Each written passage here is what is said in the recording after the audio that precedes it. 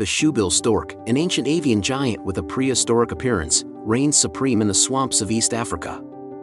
These solitary hunters blend seamlessly into their wetland homes, patiently waiting for unsuspecting prey to approach. With their massive, shoe-shaped beaks, they swiftly snatch up fish, frogs, and even small reptiles. Despite their solitary nature, shoebill storks are surprisingly vocal, communicating through a variety of calls.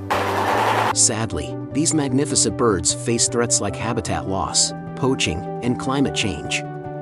Conservation efforts are underway to protect these living relics of a bygone era, the true kings of the wetlands.